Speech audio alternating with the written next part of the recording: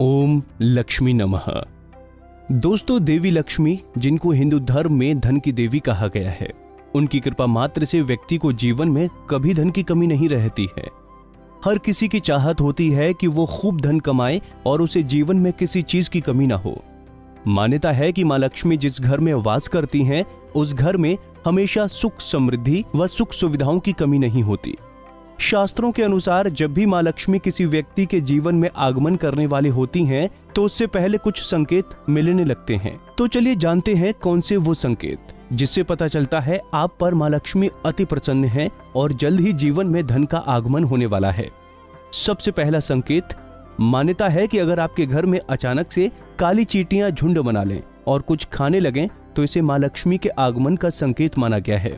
दूसरा संकेत जैसे कि देवी लक्ष्मी का वाहन उल्लू माना गया है, ऐसे में अगर आपको अक्सर अपने आसपास उल्लू दिखाई दे, या फिर सपने में उल्लू उड़ता हुआ आपके समीप बैठ जाए तो समझ जाइए कि माँ लक्ष्मी आप पर अति प्रसन्न है और जल्द ही आपके ऊपर उनकी कृपा होने वाली है।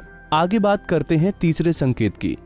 ऐसा माना जाता है कि घर में एक ही जगह पर अगर आपको तीन छिपकलियाँ इकट्ठे दिखाई दें तो इसे भी धन की देवी माँ लक्ष्मी के आगमन का संकेत माना जाता है। क्योंकि छिपकली को देवी लक्ष्मी का प्रतीक माना गया है।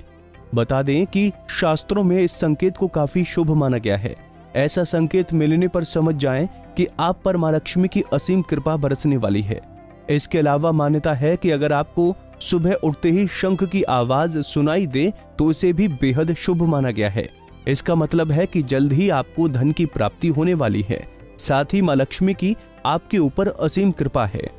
बता दें कि ज्योतिष शास्त्र के अनुसार दीपावली के पावन मौके पर तुलसी के पौधे के आसपास कोई छिपकली का दिखाई देना शुभ संकेत होता है। तो वहीं तुलसी के पौधे के आसपास कई ज़्यादा छिपकलियों का दिखाई देना विपरीत संकेत देता है। तो वहीं शास्त्रों के मुताबिक अगर आपके दाहिने हाथ में लगातार खुजली हो रही है तो इसे भी देवी लक्ष्मी का शुभ संकेत माना गया है।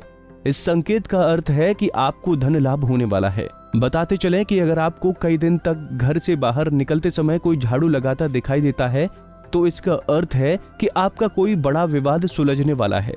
साथ ही आप बहुत जल्द धनवान होने वाले हैं। मान्यता है कि घर से बाहर जाते समय अगर कोई कुत्ता मुँह में रोटी या फिर कोई खाने की शाकाहारी चीज़ लाता दिखाई देता है तो इसका मतलब भी धन लाभ होने की संभावना है।